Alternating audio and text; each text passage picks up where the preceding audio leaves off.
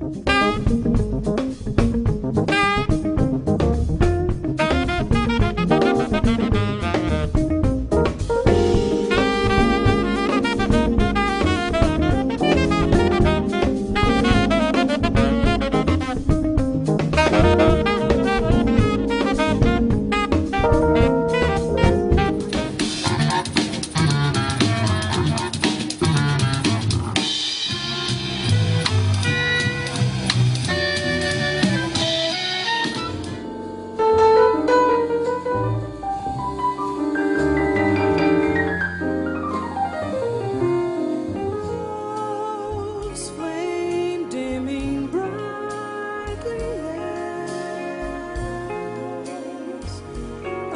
best wishes tries to forgive, holding that which can't be held.